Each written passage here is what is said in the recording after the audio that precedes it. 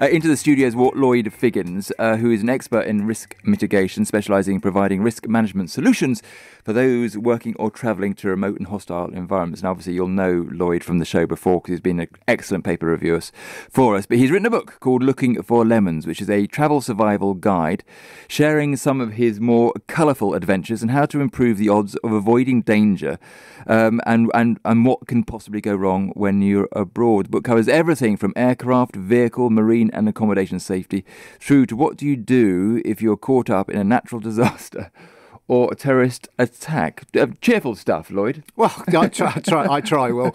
Um, but actually, you know, uh, some of the reviews on it actually refer to the humour in it because yes. I, I've tried, you know, it could be a really stiff subject and and what I've done is I've injected some of my personal anecdotes. Yeah and and you know it's not to say that that travel is inherently dangerous. It's not. You know statistically it's, it's pretty safe. But when things go wrong they often go wrong pretty badly. So the whole idea is to get people out there to enjoy travel for whatever reason whether that's business whether it's a gap year or whether they're just on holiday mm. um, and just to be aware of what those dangers are how to mitigate them so that you go away you come back you've had a great trip and you've you've remained safe throughout. What typically goes wrong on a holiday? So so I mean obviously you, you, you were in the army, you were then worked in, in the police, you then took people on sort of extreme holidays as, as a guide. So you were kind of looking for trouble, but most of us aren't. What what what what sort of t- trouble do do the general public tend to get themselves into, and how is it avoidable? Statistically, the top things are vehicle accidents. So, ah. if we have a look at vehicle accidents, the World Health Organization's latest figures on that: 1.2 million people a year are killed on roads, you know, globally. Mm. Um, so, when we look at things that tourists or travellers need to watch out for, it is vehicle accidents. Uh, the next thing is sort of scams that, you know, just so varied all over the world, different types of scams. But actually, you know, the Royal Geographical Society did some some some research on on injuries overseas, and and actually the thing that gets most of us, thirty one percent will suffer some sort of gastrointestinal uh, illness whilst yes. overseas. So the Delhi belly side of things. Yes. So in the book, I cover the vehicles, I cover the medical issues. I, I you know share the story of when I caught malaria in Tanzania as as a you know quite an extreme example of that. But the sorts of things that you can do, the little things that you can do that are actually going to make a real difference to your to your travel you know, yeah. enjoyment. But how do you avoid Delhi belly? I mean, you know, is isn't it just part of going to India? That you get a dose of the runs. Yeah, no, it, it, it's really pretty avoidable, to be honest with you. So it's just taking those little things, you know, the, the drink bottled water, bottled water, the hand sanitizer, making sure that you wash your hands after you've been to the toilet before you handle food. And one of the key things. Yeah, but, you, but if you're in a restaurant, you can't, you yeah, can't, you well, can't guarantee that no, the, you can't. cook has done no, the same you, sort of thing. You can't. But you know, one of the things that um, that is a real cause of Delhi belly is buffets because often it's leftover food, it, it, it's it's been rewarmed or it's not been cooked back up to the right yeah. temperature. So when you look at hotels, they often lay on, you know, buffets, avoid buffets. Try to make sure that you're you're eating food that sometimes you know when you're overseas you can actually see it being cooked. Yes. Um, and and you know looking at those little things can make the big difference. What about street food?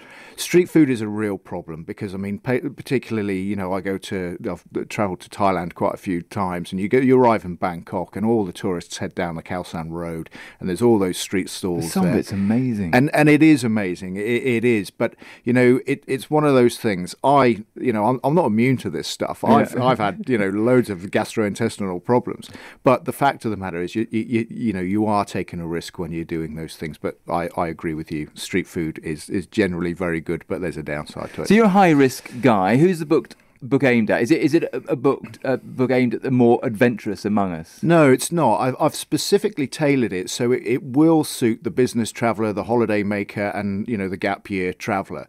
Um, and I've had a lot of response from um, gap year people, yes. you know, younger people, or actually parents of, of, of, young people going away, who are worried about, you know, their their their their their, their, their, their offspring going travelling, and so they've bought this book for them. And actually, it's the younger people who have gone, "Wow, this is amazing!" Because this guy's gone off, he's he's had all these adventures, he's come back, he's told us about them, and he's actually given us all so the tips are, to stay safe. Well, exactly. If you are going to go off the beaten track, so if you are a young backpacker and you want to, you know, you want to explore life a bit, and you don't want to go to all the normal the tourist destinations, and you're in South America or you're in India or in Mm. Africa or somewhere, wherever it might be.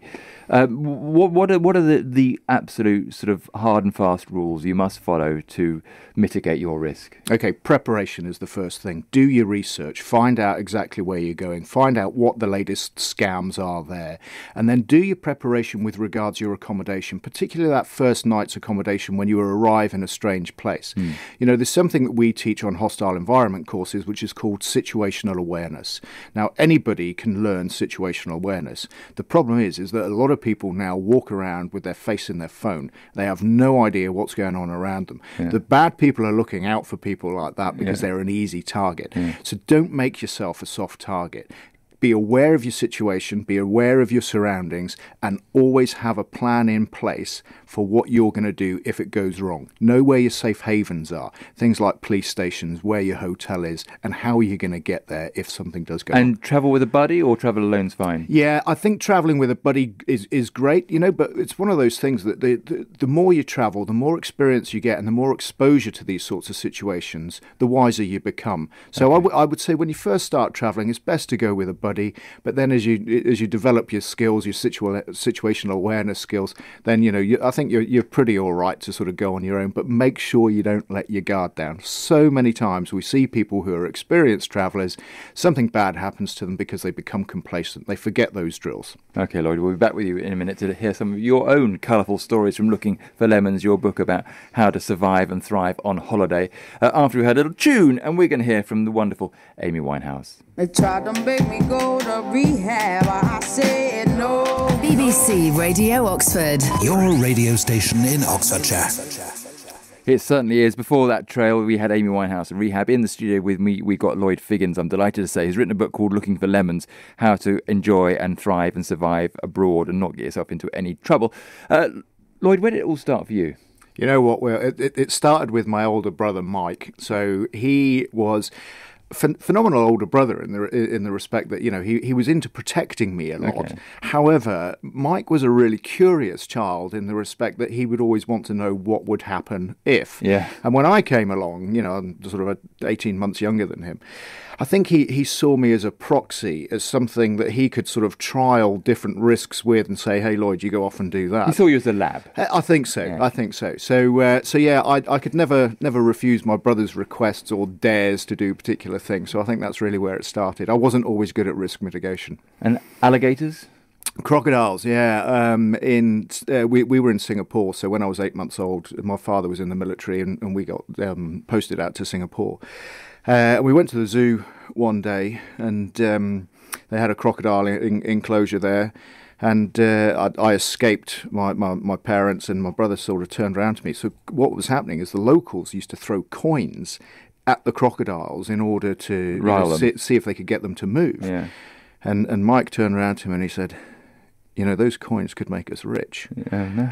Uh, so I looked at him. I probably knew something bad was going to happen. He goes, oh, "I'd go in and get them myself, you know, but I'm too big to fit through those railings." Oh, no. But you. so uh, yeah, to get a long story short, he uh, he he he persuaded me uh, to to go in and get these coins. so. Um, you know, the, the crowd gasped. My parents looked, you know, and sort of in unison, sort of said, "Where's Lloyd?" Yeah. Um, and then they saw their, their youngest and blondest son toddling into this, this crocodile enclosure. two years old. Yeah, so uh, so that's really where it's, it, it started. And how do they react? uh, yeah, they were a little embarrassed, and um, you know they had to reclaim this renegade child as, as their own And flesh and the, blood. the croc was uh, Uh, a local man actually jumped in and got me out. Really? Yeah. yeah. Um, so so yeah, that was that was really the start of it. The the, the family day out was abandoned. Um, That's a bad idea. but it wasn't the Yeah, last time I yeah. fell for some of my brother's tricks. So yeah. And then, what is the most dangerous situation you've ever ever found yourself in? I think that there's there's a few actually, two that are in the book. Um, one was nearly getting kidnapped in the jungles of Colombia in the in, in the late nineties. So was this with the drug cartels and all the rest of it? well, actually, it was. what were uh, you doing there? It was I was recceing a new expedition. So the, the Foreign and Commonwealth Office had just changed their advice for certain parts of Colombia that you know it was okay to go and visit with Yeah. extreme caution. So what you tend to get is a lot of expedition companies and adventure travel companies. They want to be the first ones in there because it's something new to offer their clients. yeah, yeah. So they send people like me in there to do a recce to you know find out what routes to take if there's a, there's a jungle trek as it was in this case. Yes. So I was there uh, with, with a with a colleague of mine, and we were going through the jungles. We'd done all our research. Do you speak Spanish? I do speak Spanish, um, and so we, we, we were there with you know a, a couple of the local guides, and um, we'd had a fixer in country to make sure everything was safe. We were uh, told that there weren't any rebels in the area. And we were five days into into the foothills of the uh, Sierra Na- you were Nevada deep? mountains. We were deep. We were Yeah. deep. Um, and we, we got we were staying in just these tiny communities, really just very remote communities. And we went uh, to the local stream for a, for a wash um, one one afternoon. And by the time we got back, we'd been joined by some other travellers. The only thing was these guys were dressed in combat fatigues and had assault rifles with them. Right. They're Colombians. Uh, they they were Colombians, and it turns out that uh, they were part of a militia Yeah. um, who were basically trying to keep the communities in the area safe from people like the FARC and the ELN, Yes. and actually the the, the, the, the government troops. Um, uh, but you know, kidnapping those days in Colombia was still is pretty commonplace. Yes. Um, and so we yeah, you, you represented money. we absolutely, Yeah, you know, yeah. we were a commodity. Yeah. So, um, so after quite a long evening with them um, and some really awful rum, Yeah. they they decided that they weren't. You're a good take us. bloke. Yeah. So you so you actually your strategy there was befriending. Yeah, it was it was what we call humanizing. So Okay. when we when when we talk about to, to people nowadays about you know how to avoid kidnapping and so on, uh, we talk about humanizing yourself to captors or potential captors, and that's really important that they actually see you as a human being and not a commodity. Yes. it's a lot harder to do harm to somebody who you, you you've actually interacted with rather than just seeing them. And as, was as the fact else. that you spoke Spanish uh, an important part of the reason you weren't kidnapped? You know, the most important part of that particular thing, without ruining too much that's in the book, was the guy I was travelling with was from Manchester. Right. And it was at the time when David Beckham was probably at his his, his peak. You know, Yeah, so- most famous. Mm, yeah. And so they actually, because they wanted to see our passports, because actually they thought we were American to start with, and we thought that, and they asked us if we were CIA or DEA, Yeah. and we thought, well, if they think that, we're pretty much dead anyway. Yeah. Um, so we we got our passports out, and uh, my friend, he he, you know, his place of birth was Manchester, Yeah. uh, and the guy looked at it and he said Manchester, and, and we see see see, and he said Manchester United, and we were like see, yeah, and yeah. then he was like David Beckham, we were like see, so Oh, really? so yeah, so Beckham saved your life. well, I'd like to like to think he probably had something to do with it, Oh, but um, but that was what broke the ice, Yeah. and, and that's actually what got us into the conversation with them. And one of our guides broke out this bottle of revolting rum, and we sat down and we talked to them. And actually, we found out a lot about them and about the problems of Colombia, and that in itself. So, the, so empathy built up. was really, really important. Yeah. That we actually listened to them and the plight that you know you had families where one brother had joined the Colombian army and the other had joined FARC. yeah. Um, so the opposite sides. Yeah. yeah, so you know this this this was going on you know throughout uh, Colombia on a massive scale. So, um, so just bringing us right up to date and sort of advising um, anybody thinking about going to Colombia now, whether they're a student or going for uh, sort of uh, an adventure holiday, a good place or a dangerous place? you know, Colombia's changed, and um, from the time I was there, and Yeah. I'm pleased to say that Colombia is a phenomenal location to go. But again, same as anywhere. You know, there, there, there's going to be bad people that would see you, harm come to you, Yeah. given the opportunity. Don't give them that opportunity. Whether that's in Colombia, whether it's in Peru, whether it's in Vietnam, or wherever you're travelling. Yeah. Just make sure you've got your wits about you. Great stuff. So, looking for lemons, Lloyd's book is out now, and it is you can get it from Amazon. You can get it from Blackwell's in Oxford, and- and you got a website as well. Yeah, so if you go on to lloydfiggins.com and then go to books, Yeah. um, we're running an offer at the moment. Of course you are, Up, and, up until Christmas the, offer. Christmas offer up until the 16th of December, where you can get the book cheaper than you can get it anywhere else, and we're paying the postage and packaging. So it's a great Christmas stocking filler. Here we go. There we go. There's the plug. Every day is Black Friday in the world of Lloyd Figgins. Uh, absolutely. Lloyd. Thanks so much for coming My in. pleasure. It's a cracking book, I have to say. Looking for lemons, uh, as you, you heard how you can get it, you heard how cheap and easy it is, and Lloyd's even going to pay for the postage. Fantastic stuff. Uh, Lloyd, see you soon.